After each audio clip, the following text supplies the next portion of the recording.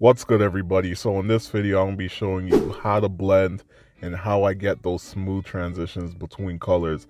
Now before we get into the video, make sure to hit that subscribe button, hit that like button. Let's begin.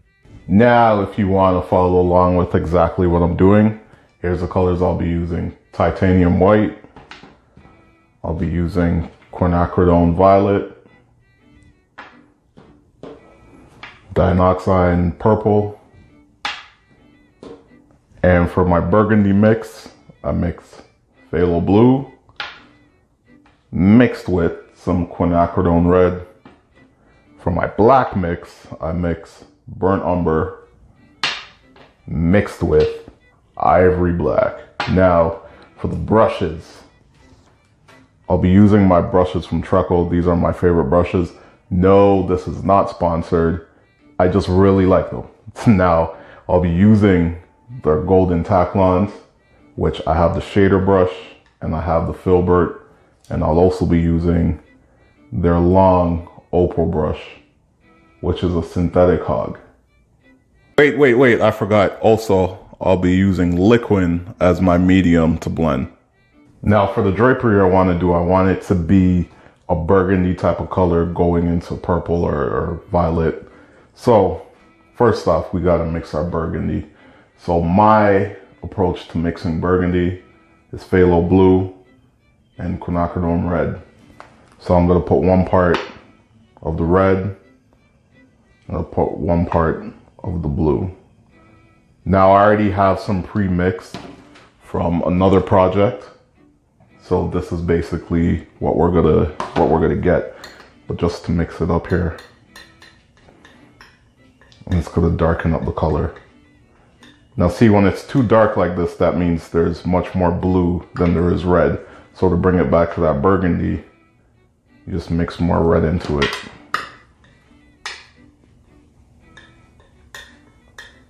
And you can obviously adjust this to your liking. It just really depends on how deep of a color you want to go with. If you go too far with the blue, then it's going to turn purple, which you can see some of it there. So all that means is that I just got to add more red. For the sake of the video, I'm just going to show you what I already have pre-mixed. I'll show you a spread of that. So what I already got pre-mixed is basically this burgundy color. And like I said, this is the phthalo blue and the quinacridone red. One thing I'm gonna also do is mix my own black.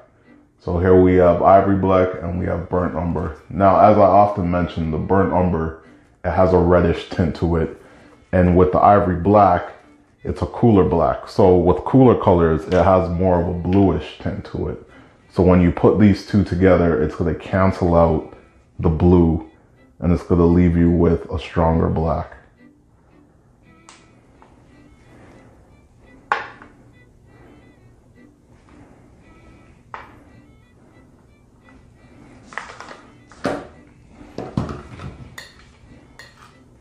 Now, as I often do, I like to do a little test run of how the colors mix together.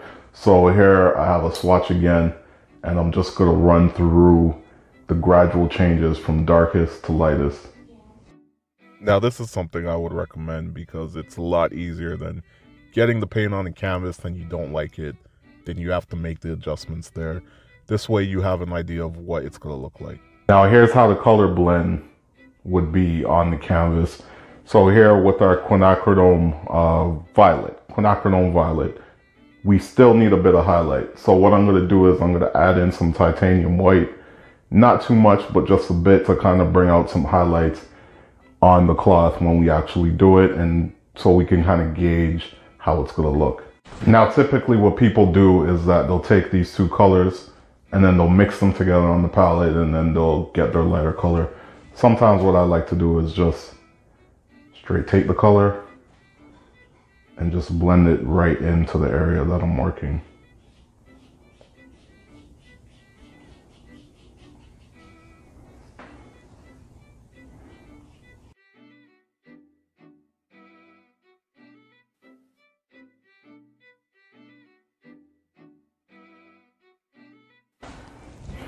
So there we have it. that's going to be our color transitions. Now we get into the painting portion of this. So the way how I paint is that I start off with my shades, so my darkest areas, just like the Spira example, and um, we work our way to the lightest. So there we throw in the burgundy, and actually what happened with the purple is that it was just too dark, so I had to lighten it up a bit with some titanium white. And then now we're going to take that purple and we're just going to use the shader brush to blend it right in and get that nice transition between the colors.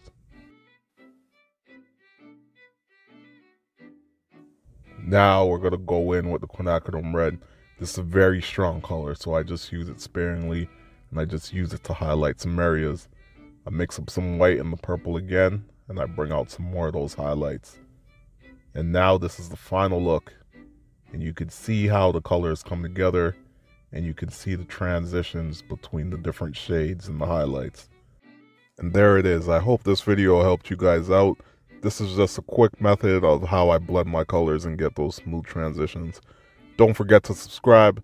Don't forget to like. I'll catch y'all in the next one. Peace.